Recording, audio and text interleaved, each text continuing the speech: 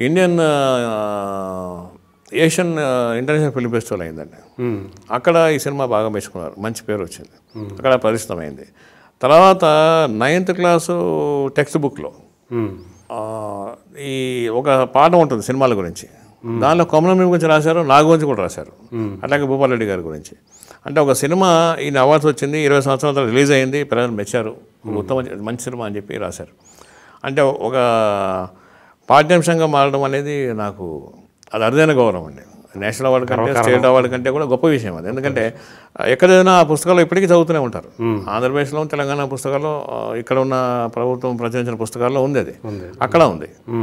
So ఇది ఒక గొప్ప ఆనందం అనుకుంటాను నేను. ఇట్లా ఇది కొమలం భీం ఈ తలుచుకున్నప్పుడు అనిపిస్తుంది ఆ జీవితాన్ని మనం తీసుకురాగలిగాం కదా అనుకుంటాం. దాని తర్వాత జిల్లా ఏర్పడింది కొమరం భీం పేరుతో. పేరుతో. తర్వాత రిలీజ్ అప్పుడు కూడా ముఖ్యమంత్రి గారు చాలా చెప్పారండి సీఎం గారు కూడా కవిత గారు కూడా ఈ సినిమా గురించి చెప్పడం. తర్వాత రిలీజ్ అప్పుడు కూడా వాళ్ళు మంచి స్టేట్మెంట్ ఇచ్చారు. ఆయన ఎప్పుడు వెళ్ళినా కూడా సీఎం గారు నన్ను- నన్ను అదే అదే పేరుతో గుర్తుపడతారు. కొమరం మేము దర్శకుడిగానే చూస్తారు ఆయన. కలిసినప్పుడల్లా కూడా. సో అట్లాంటి ఒక గౌరవాన్ని కూడా తీసుకొచ్చి పెట్టింది ఆ సినిమా. అంతేనండి. ఆ సినిమా లేకపోతే అలాంటి శ్రీధర్ అనేది నేను లేనే లేను.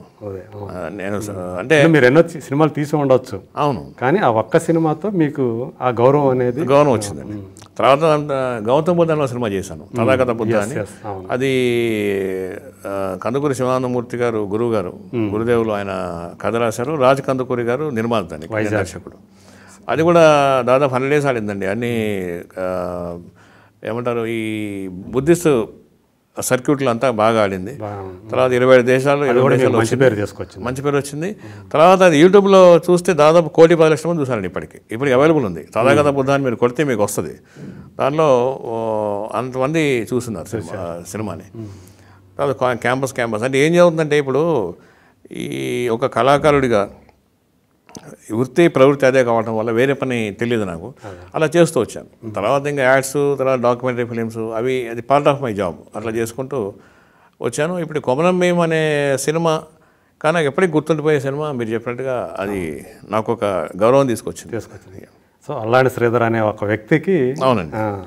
అంటే మీరు చెప్పుకోవాలంటే ఒకప్పుడు ఈ సినిమా తీశాడు అల్లాడి శ్రీధర్ అనే డైరెక్టర్. అని చరిత్రలో నిలిచిపోయేటట్లు మీ పేరు ఉండిపోతుంది. ఆ టీం అంతా మా అందరి పేర్లు. అదే అదే. టీం ఆ టీం అంతా. అవునండి. ఏదైనా కెప్టెన్ ఆఫ్ ది షిప్ మీరే కదా? అంతేలేండి ఒక పేరుతో వస్తుంది కాబట్టి. అట్లాగే భూపాల్ రెడ్డి గారు ఆ పాత్ర చేసిన అట్లాగే ప్రాణరావు గారు భూపాలం అందులో పనిచేసిన వాళ్ళు. అది ఆ సినిమా అనేది ఒక్కడి మీద వెళ్ళదండి. ఒకటి పేరు ఉంటుంది అంతే ఆర్కెస్ట్రా ఎవరైతే ఒకటి పేరు ఉంటుందో మరియు ఇతరులు అంటారు కదా ఇతరులే ముఖ్యం బృందమే ముఖ్యం. అది లేక వాళ్ళు లేకపోతే బృందం లేకపోతే అందమే లేదు. ఈయన చేయలేడు కదా బృందం. పక్కడేం చేయలేడు కదా. అంతేగాని ఒక పేరు వెళ్ళిపోద్ది అంతే. ఆ పేరు వచ్చింది అలాగా.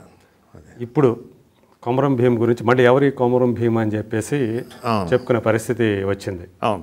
అంటే అల్లూరి సీతారామరాజు గురించి అందరూ ఎక్కువగా చదువుకున్నారు. ఆ సినిమా అంత పాపులారిటీ తెచ్చింది. అవునండి. అది ఒకటి అది చాలా మందికి తెలిసిన విషయం అల్లూరి సీతారామరాజు గురించి ఏమైందంటే పాఠ్య పుస్తకాలు అంతకుముందే ఉండింది. ఉండింది మనం చదువుకున్నాం. అవును. సీతారామరాజు యొక్క త్యాగము ఆయన పోరాటం మనకు తెలుసు. ఎందుకంటే ఆయన మీద అప్పటికే పుస్తకాలు వచ్చి ఉన్నాయి కాబట్టి కాబట్టి పుస్తకాలు వచ్చాయి నాటకాలు వచ్చాయి పాఠ్యాంశాలు వచ్చినాయి. తర్వాత సినిమాతో అది బాగా జనంలోకి వెళ్ళిపోయింది. ఇప్పుడు ఆ సీతారామరాజు భీమ్ పాత్రలతోటి చరిత్ర కాని ఒక కల్పిత కథతోటి ఇప్పుడు రాజమౌళి గారు మన ముందుకు తీసుకొస్తున్నారు. అవునండి అవును. సో దీని మీద రకరకాల వ్యాఖ్యానాలు వచ్చినాయి. ఎలా కల్పిత పాత్రలను చేస్తారు వాటిని ఒక చారిత్రక పురుషుడిని అవును. సో ఏదేమైనా అంటే ఇంకొక వాదన ఏంటంటే దీనివల్ల ఇంకా ఆ హీరోల గురించి మాట్లాడుకునే అవకాశం ప్రచారం వస్తుంది. ప్రచారం వస్తుంది. వాళ్ళ స్ఫూర్తి తరం వాళ్ళకి. తెలుసుకుంటారు వాళ్ళ చరిత్ర ఏంటో తెలుసుకుంటారు అనే ఇంకొక యాంగిల్ సో ఒక డైరెక్టర్గా ఆయన ఒక పేరు పొందిన దేశవ్యాప్తంగా దేశం సరిహద్దులు కూడా దాటిన దర్శకుడు ఆయన. అవును. సో మీరు ఎలా ఫీల్ అవుతున్నారు ఆ సినిమా గురించి ఒక ట్రిపుల్ ఆర్ అనే సినిమా? ఆ సినిమా గురించి రెండు భిన్నమైన అభిప్రాయాలు అనుభూతులు నాకు ఉన్నాయండి. వాటిని ఒకటేమో ఈయన కొమరం భీం అనే ఒక చారిత్రక పురుషుణ్ణి ఆయన వ్యక్తిత్వాన్ని ప్రపంచానికి పరిచయం చేస్తున్నారు పెద్ద ఎత్తులో. ఇప్పటిదాకా ఆయన టేకప్ చేయకుండా రాజమౌళి కాకుండా ఎవరు తీసినా అంత పేరు రాదు. అవును. ఎందుకంటే అది ప్రతి ఇంటింటి పేరు అయిపోతుంది అది. కొమరం భీం స్ఫూర్తి అనేది ఏంటి అనేది ఆయన ఎలా తీసినా కూడా ఆ స్ఫూర్తి సినిమాలో మిగిలే ఉంటుంది. ఎందుకు ఉంటుందంటే అతను ఎక్కడి నుంచి వచ్చాడు? ఏం పోరాటం చేశాడు? ఆ జ్వాల ఎలాగా జాతికి వెలుగునిచ్చింది అనేది ఆయన చెప్పే ఉంటారు. అది చాలా పాజిటివ్గా వెళ్ళిపోతుందండి ఆయన చేయడం వల్ల. అంటే ఇప్పుడు మనం గల్లీ క్రికెట్ కంటే నేషనల్ స్టేడియంలో ఆడే క్రికెట్కి ఎక్కువ ప్లేయర్ వస్తుంది పేరు వస్తుంది. అలాంటిది. అయితే ఇది ఒక అభిప్రాయం నా అభిప్రాయం. కానీ నా మిత్రులు వీళ్ళు ఏమంటారంటే ఆయన దాన్ని మరి కొమరం భీం సీతారామరాజు కలిశారా? కలిసి డ్యాన్స్ చేశారా? లేదా కలిసి జెండా పట్టుకుని పోరాటం చేశారా? అనేది ఒకటి చూపిస్తున్నారు కదా. నువ్వేమనుకుంటావు అని అడిగారు మా ఫ్రెండ్స్.